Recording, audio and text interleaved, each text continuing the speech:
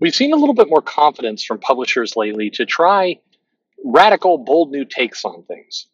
And in a few cases, they do pay off, but it's very risky. They tend to fail more often than they succeed. And there's a few reasons for that. I mean, if you take a look at the Immortal Hulk, it's working. People are buying it. It's got a lot of buzz for the title. It's doing things for the Hulk that really hasn't existed since you probably have, to go back to Peter David when you had this much kind of loyalty and, and fan following for the book. So why don't uh, why don't more comics do this, do these radical changes? Or maybe a better question is, when should they not?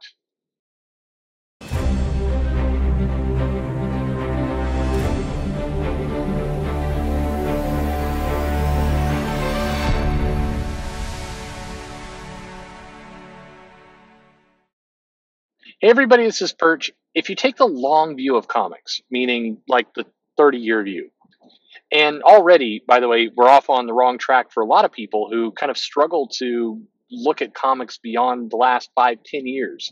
Um, I, I, was having a conversation with uh, with a guy yesterday who was saying that, you know, really going any further back than Civil War is kind of pointless when it comes to comics. And maybe it's time for the publishers to kind of draw a line in the sand and say, you know, nothing that happened before Civil War matters, uh, which is horrifying to me. I, I, I find that entire concept just terrifying and, and, terrible because there's so many epic stories that you have in the past and there's stories that when it's convenient certainly writers like to draw from them.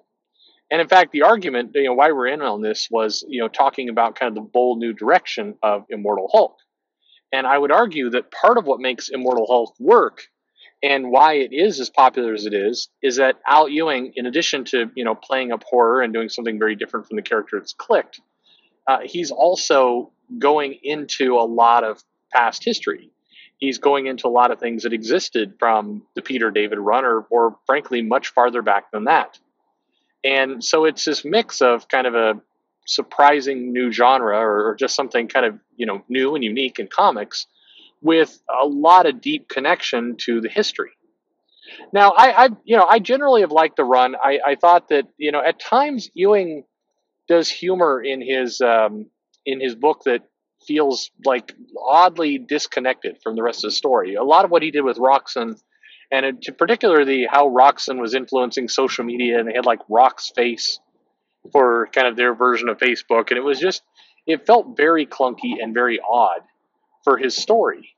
But in general, uh, that that book has been pretty solid. It's got you know a nice horror element. They're doing different things with the Hulk. You got the feeling like they're building on kind of the character's mythology, and so they're they're adding to the character, while at the same time it it's it's new and yet not subtractive.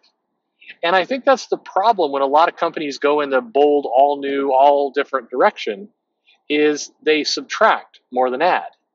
A lot of people, when in defense of kind of this, let's up in the status quo, will point to giant size X Men and the, the idea of like if Chris Claremont hadn't upended the status quo and done all new things and brought in completely new team members, well, you know, the X Men would have basically been a canceled title today. It wouldn't have been anywhere close to the popularity that it had, um, which is is true enough. Except Claremont also was kind of deeply respecting the Magnetos and the dynamic with Professor Xavier and and building on that dynamic uh, the relationship with Havoc and Polaris, a lot of things that existed prior to Giant Size X Men, uh, you know, Claremont was heavily tapping into. And so it was a bold new direction, but not subtractive, not at the expense of what came before. And in a lot of cases, I think that publishers and writers they use the bold new direction kind of tag and mandate to basically erase you know, their their their plan and their goal is not to kind of you know put a new spin on a character. It's to be allow them to dump everything that came before and just do new. And for that to be successful, I think you're you're it's like a huge huge gamble. You're basically just hoping that you've got it right. You're hoping that you manage to kind of thread the needle of you know a successful basically your your bold new idea is going to be accepted is new enough unique enough not dumb doesn't feel inorganic that's a lot of ifs And when you have an established audience, it's used to a certain format. And and we've talked about this before, but you know, one of the things about continuity and fans and collectors is they're buying in. It's it's in fact it's like TV, you buy in with your time. And with comics, you buy in with your time and your wallet. You know, readers are not immune or, or unaware of the amount of money they're spending on comics and the amount of time that they invest into reading them, collecting them, putting it in bags, all that kind of crap. It's, uh, you know, TV is much more easy to come and go with. And so when you have that kind of devotion, that loyalty, that following, that collector's market, you, you, you, know, people need to take into account that in addition to just giving the publisher or giving the writer, whoever it is, their time, they're also you know they're they're literally giving them money. They are they're paying for this service. So it, that's why people get all hung up about it. I've had some of you have mentioned in the comments things along the lines of, you know, why is it that uh, readers, why why do they, you know, uh, should they just relax? You know, the, the creators don't owe them anything. The creators don't owe them an explanation. I mean, on some level, sure, that's true. Nobody owes anybody anything in those terms. But at the same time, it's uh, it, you know there is a transaction taking place of time, investment, money, and passion, and so it's not just trivial. So if you're going to break the status quo, you're going to go in a bold new, brand new direction. The safest way to do it is, by and large, what Al Ewing has done, what Chris Claremont did way back when, what Jonathan Hickman somewhat did, mostly did, uh, with his new series, uh, it, it is you, you, need to be able to to carefully, carefully balance uh, brand new status quo, plenty of respect and acknowledgement of the past. It's like you're telling fans directly, "Hey, you know, you are uh, you like this property, you like this character, you like this book. Um, I'm glad you like it because I'm going to take it in some new directions. But don't worry, I am watching out for you. I am going to make sure that you're along for that ride, that you're buckled in, that you're coming with us. I'm not going, you're not going to wake up one morning and we're going to say, hey, we're doing something new now. So, um, you know, come along if you want or jump off if you want. it doesn't matter to us.